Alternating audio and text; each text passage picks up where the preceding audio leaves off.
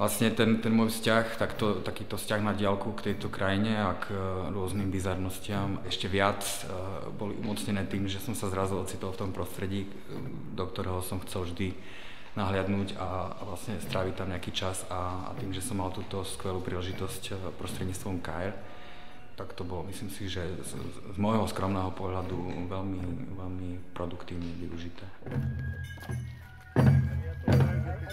To je jedna z etap života, ktorá sa už nemusí zopakovať a výsledok e, svojím spôsobom nadvezuje na to, čo robím, ale je naozaj taký viacej pojaponštený.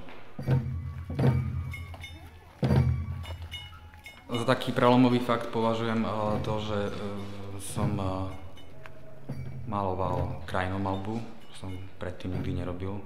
Vlastne, vlastne bolo takmer nemožné urobiť čokoľvek bez toho, aby tam nebol ten vplyv okolia, pretože je tak odlišný, že to veľmi výrazne ovplyvňuje